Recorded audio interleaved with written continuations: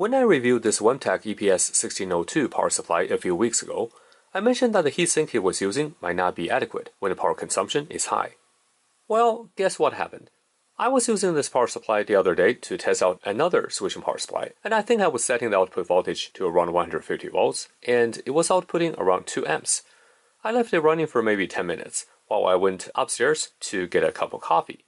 After returning, I found the power supply turned off, and I wasn't able to turn it back on again.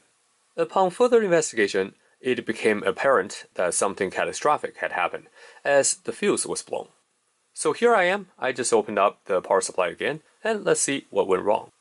I've got a feeling it's most likely the switching MOSFETs, as those are the ones mounted on the tiny heatsink, and if stressed beyond their safe operating envelope, especially when the heat dissipation is not adequate, they will most likely fail. So let's actually take a look. And yep, this one is shorted between the drain and source. How about the other MOSFET? Yeah, you can see that both are shot. So I'll have to replace them. Hopefully these MOSFETs didn't bring anything else down with them and are the only things that failed. I don't know for sure, but we'll have to replace them first anyway. And to do that, I first need to desolder these MOSFETs from the circuit board. Let me actually remove the heatsink first. I think there are only a couple of screws holding it down.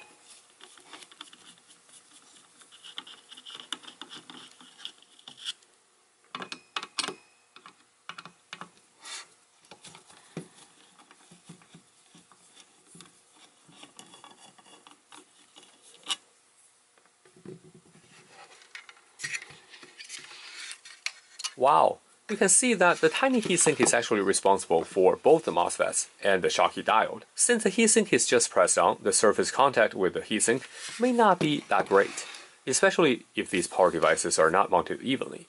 Let me remove these MOSFETs with my cheap desoldering iron that I bought not too long ago. And by the way, I've done a review of this desoldering iron, and if you're interested, you can check out my review video, which I will provide the link down below.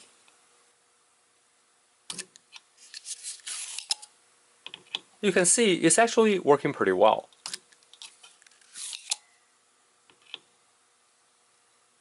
Sometimes you have to try a couple of times, and the key is to create a seal around the through hole so you have sufficient suction.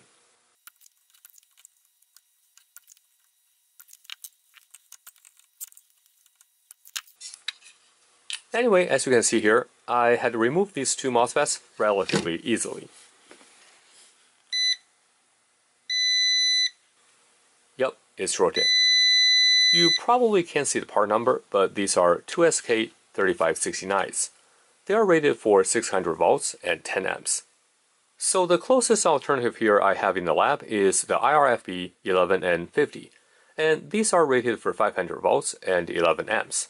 The maximum voltage is slightly less, but it should be just fine for this application, as the operating voltage is well within 500 volts. The maximum current rated is slightly higher compared to the 2SK3569, so in theory the replacement should be slightly better. The only issue is that now the tabs of these IRFB 11N50s are not insulated, whereas the original 2SK3569s are fully enclosed, and thus can be mounted on the heatsink directly. So I'll have to place a mica film between the MOSFETs and the heatsink.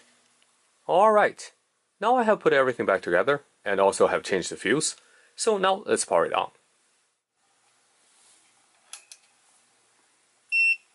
Aha! You can see that we powered it on. And let's turn the output on.